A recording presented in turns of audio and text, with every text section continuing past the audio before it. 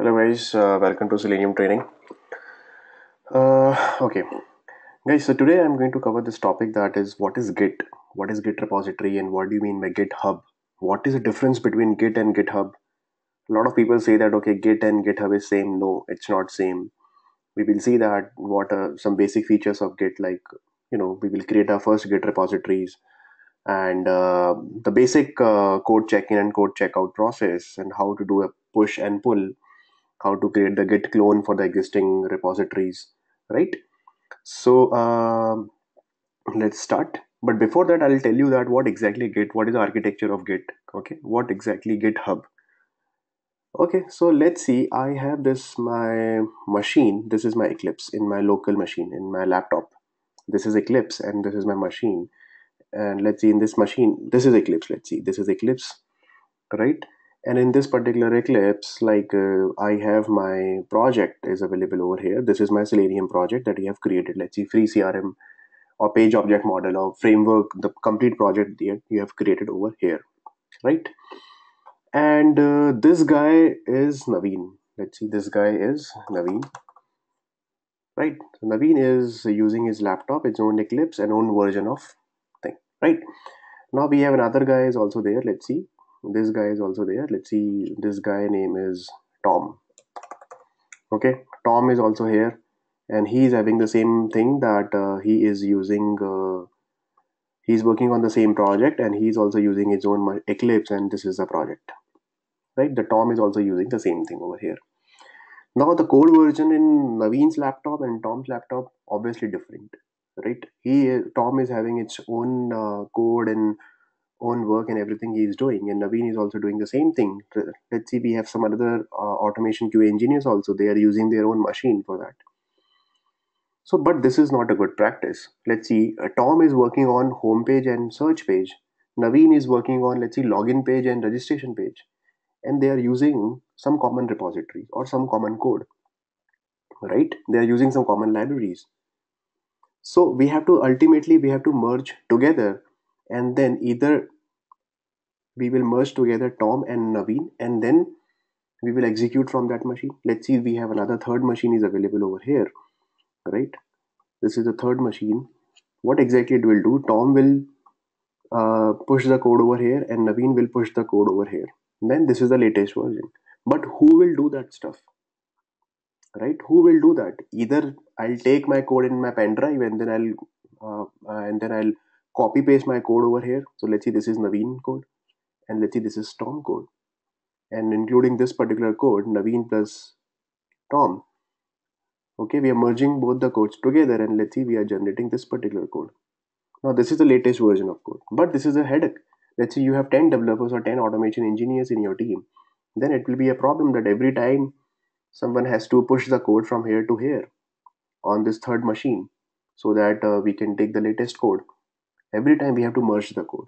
That's the biggest problem. This is called source controlling problem that how exactly you are controlling your source code. Source code means your code that your project code. So to resolve this problem what exactly we do we don't prefer this solution. This solution is not preferred right? This is a bad solution. What we do guys we create a git repository. So we have one hosting service available over the internet that is called github okay. Let's see this is called github and you are working with let's see uh, some xyz company. Let's say you are working with the let's see you're working with google. Right? So google is a company and you are an automation engineer. In uh, tom is automation engineer and naveen automation is automation engineer in google. What exactly they will do that we will create one account google account with github repository. Okay? So we will this is let's say i'm working with google and this is a google github okay?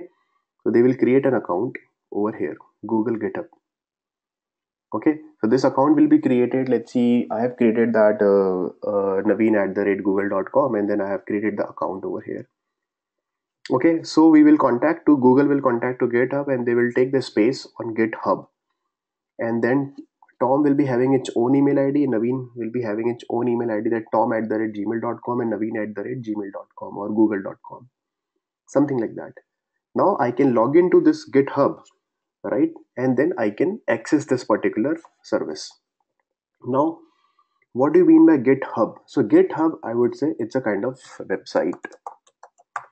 Okay github is a website which provides different services okay different services. What kind of services? Let's see it provides different you can create some wiki pages or Confluence pages.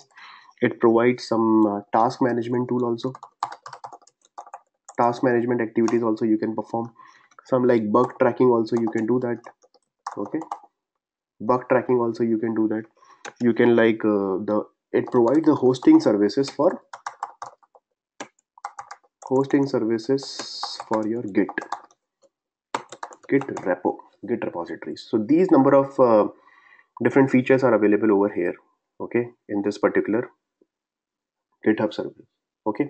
So git is a simple website github.com and then what exactly you will do you will tom and naveen what exactly they will do tom and naveen we will let's see we have one admin let's see naveen is the admin or maybe some guy is the admin or maybe devops guy what exactly they will do they will create one admin account over here okay into this repository.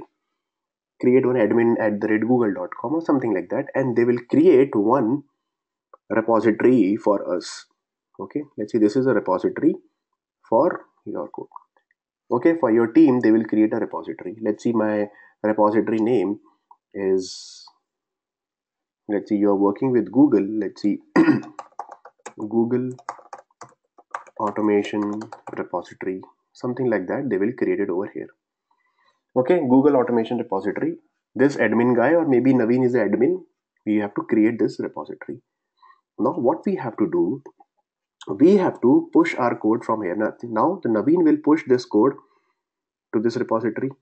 Tom also will push this code to this particular repository. Another third guy also will push his code into this particular repository. Right? Now this repository is having a couple of things. This repository is having first of all is called branches. Okay.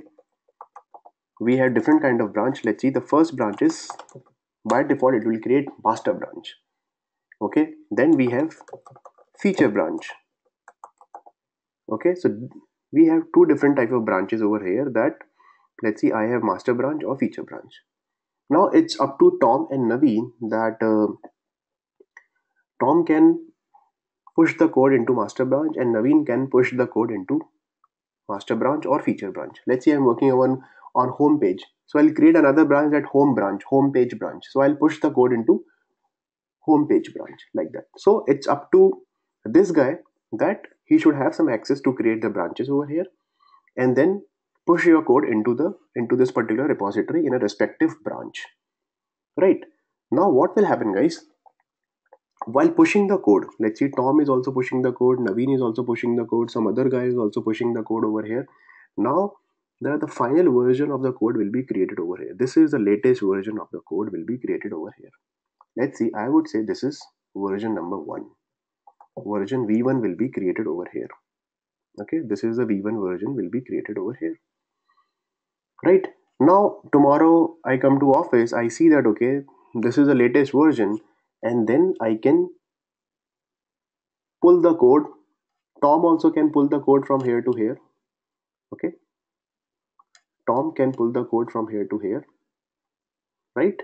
And Naveen also can pull the code from here to here. And this guy is also can pull the code from here to here. So we have two process. We have check-in check-in means push the code. Okay guys? Check-in means push the code. Check-in means push and checkout means pull pull the code. So this particular operation we will perform check in the code and check out the code. Right? Check in the code and check out the code. So what will happen? This latest version v1 will be available at tom site also. Tom will be having this v1 latest version. And naveen is also having the same version v1 right? And this third guy also is having the latest version as v1 right? So everybody is on the same page right? All the resources are having the same page. Now let's see Naveen is developing some code. I have created some, some feature and I push this particular code to this okay again to the repository. Let's see i'm pushing some another another thing over here. Let's see some something i have pushed it over here right and this is let's see after pushing now the latest version will be let's see v2 right the latest version will be v2 after v1 naveen has pushed the code into repository v2 let's say i have created home page 100 test cases i have created and i pushed my code over here. Now again it's tom and this guy responsibility to take the latest code from here. Okay? To take the latest code the v2 code from here so that everybody should be on ultimate target is at the end of the day we should be on the same versioning. Okay? Everybody should be on the same versioning. Now the latest v2 will be given to this guy right? He will pull the code okay from this repository. Immediately he will be notified that okay the latest version naveen has checked in something okay? So i should take it's my responsibility i should take the latest code. I'll take v2 code over here and then naveen is already having v2 because naveen is already pushed v2 and this guy is also the third guy is also having v2 code latest code. So everybody is on the same level. Right? Everybody should be on the same level. So this is called push push the code into repository and pull the code from the repository. And everybody should be on the same level. All the engineers should be on the same level. Let's say let's say tomorrow i join some company and i'm the very new guy. Right? This guy is the very new guy okay this guy is very new guy. So this guy he or she will be what exactly they will be doing he or she will be first of all given will be given the access on this particular repository. So that's why whenever we join the company we say that okay give me the github url and then i'll take the latest code from here. Okay the latest code let's see v3 or v2 or whatever i'll take the latest code into my machine. So this guy is also having the latest code that is a v2 okay so every new guy is also having the, the latest version of the code he should have he or she should have. Right? So this is the basic basic uh, you know the design of uh, to improve the source controlling and there are some other features also. To improve the source controlling and there is no uh, confusion between the the versioning and everything. So we have okay centralized repository. This is called centralized repository. And this repository is called git repository. Okay guys this repository is called what? We have to call this git repository. Okay git repository. And this git repository is hosted where? This git repository is hosted over github. Okay hub is a kind of a server. Okay i would say github is a kind of a hosting server. Okay this is the kind of github server. On this particular server okay number of companies they have registered and they have created their git repository. Let's see google let's see some other project they have their own automation projects or maybe developers projects are going on. So they can create different git repositories over here like this. Okay like this. Okay and you can customize your github url the server url let's see if you are working in google so the let's say your server url it will be like this. So whenever you see http google.github.com like this. So you can customize your url it means this github services which is provided by which is taken by google. Tomorrow if you're working with let's say flipkart so it will be like flipkart.github.com like this. So every company is having its own their own okay uh, server repositories registered on the github okay github server and they can create multiple repositories over there. Okay so this is the basic difference between git and github. Github means it's a hosting service. Simple just a website.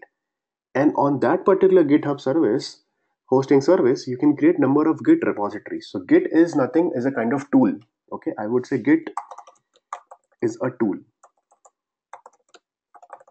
so everything, the check-in and check-out, everything is happening through Git, this particular tool. The check-in, check-out, push and pull, versioning control, creating the branches and everything, okay, is happening through Git, not by GitHub. GitHub is nothing. GitHub is just a simple site which provides some space to this particular tool, Git tool. Okay. So now who is the owner? Like who, I mean, not owner exactly, but who developed this, this thing, the Git concept? The git concept is developed by the founder of linux okay mr linus torvalds i mean just for knowledge point of view mr linus Torvalds. I would say founder of Git. He was a founder of Linux also. Okay, Linus Torvalds. He created that uh, Git repositories and the Git concept for their Linux kernel check-in and check-out point of view. Later on, they created GitHub services and everything.